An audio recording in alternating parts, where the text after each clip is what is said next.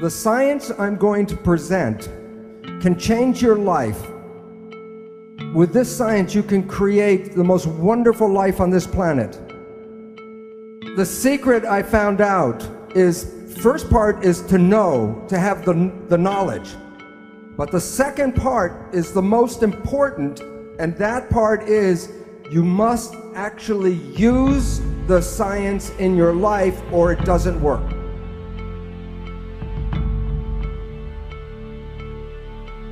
When you look in a mirror and see yourself and you see like one person looking back, it's that is not true.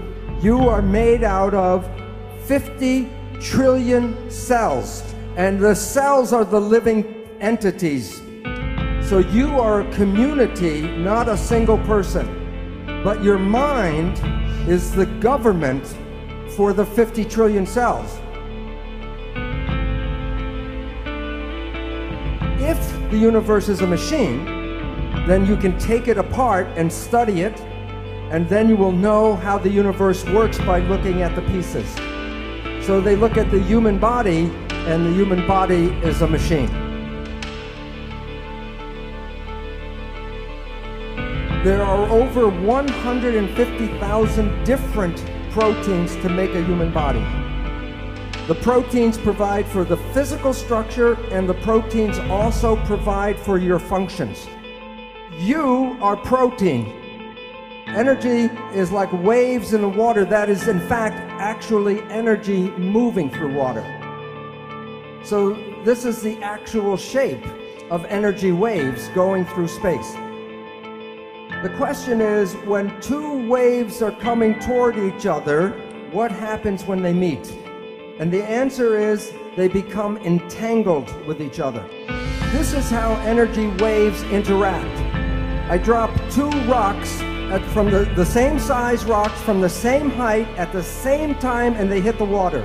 And the waves, are, the ripples are in phase and they come toward each other. The question is what happens when the waves meet? So the two waves interfere with each other. And the result when they're in phase is the wave is more powerful. This time I drop the two rocks from the same height, but I drop one before the other. And the ripples come toward each other, but they're out of phase. One wave is going up, one wave is going down. So two waves can interfere and cancel each other out. You have all experienced this in your life. Constructive interference is called good vibes, and destructive interference, bad vibes. So let's say it's uh, Saturday night and you have to go to a party and you're tired, and you go to the party and you meet some people who are in wave harmony. The waves are in harmony with you. And your energy and their energy in phase gives you more power. Bad vibes. You are in a scary place and you feel the energy go. What is going on is there's energy in the field that conflicts with you and it cancels your energy. Bad vibes. All animals and all plants communicate with vibration. The gazelle doesn't have to go up to the lion and say, Are you my friend? Because at the distance, the energy could be felt, and the gazelle will not go there because of bad vibes. If we were, when we were young, were taught to be sensitive to the vibrations, we would not find ourselves in bad relationships and bad places. But we are usually told not to go by our feelings but to listen to what people have to say. Language was designed to hide feelings. So the point is, all organisms communicate by vibrations and know if they're in a good place or a bad place by reading the vibrations. But we humans uh, have that ability but are not trained to use that ability. But I will show you in a little while how vibrations change the proteins of the body. And the proteins give us our structure and our function. So the vibrations can alter our health and our biology. This is a picture of a gold atom. And while you can see it in the electron microscope, if I give you a camera to fly through the atom and take pictures from one side to the other side, when you come back and develop the pictures, there will be nothing on the pictures. So the relevance is why, if an atom is invisible, I cannot put my hand through the table. Well, this is a picture of a tornado. And I, I say drive your car 150 kilometers per hour straight here. Will the car go through the tornado? Yes or no? It would be like hitting a stone wall. The car will be smashed by hitting, hitting the tornado. And the reason is that there's a force field, a force, and you can't go through that force. And atoms are miniature tornadoes. All atoms create waves. All of the waves together is called a field. So you're made out of atoms, but you also are the field.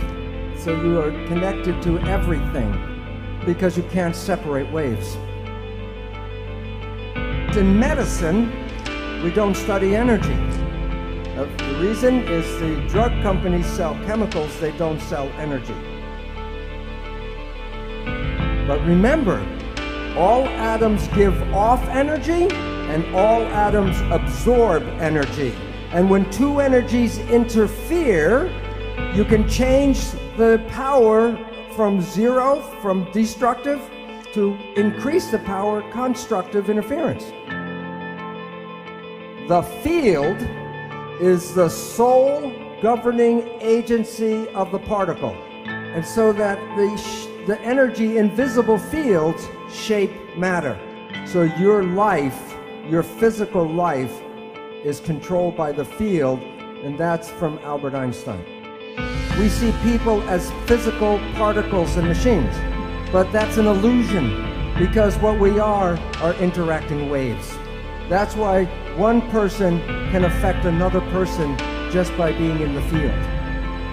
Every cell in your body has a minus voltage on the inside and positive voltage on the outside. Every live cell is a battery. Every cell has about 1.4 volts, not too much. 50 trillion cells in the body times 1.4 volts is 700 trillion volts of electricity in your body right now. And with training and meditation, you can focus this energy called chi, and you can use that energy for healing. I will show you the science of actually how the cells work, and you will have more knowledge than most doctors in the world today because they still believe in the genes. Okay, before I tell you the secret, I want you to know that the sky is not going to open up and the light come in here there's a protein, and then there's something called a signal. The signal can be a chemical, like a drug, a hormone, a growth factor, or a signal can be a vibrational wave. Proteins respond to good vibes and bad vibes. So now you have enough information to know how life works. You are made out of protein. So the energy in your body that controls the protein is a vital force. So the new science brings back the old story of vital forces controlling life. So when a signal binds to a protein, what happens to the protein? It moves, it makes behavior. Now, if you are healthy, your behavior is good. But if you have a dis-ease, the behavior is not right. Question. What can cause disease? Either the protein is bad or the signal is bad. Now, look, there are only three ways to mess up the signal. One, trauma. Number two, toxins. If the chemistry is not good inside the body, the signal cannot be passed through bad chemicals. But the third one is thought, the mind. There is nothing wrong with the body, it's just sending the wrong signal at the wrong time.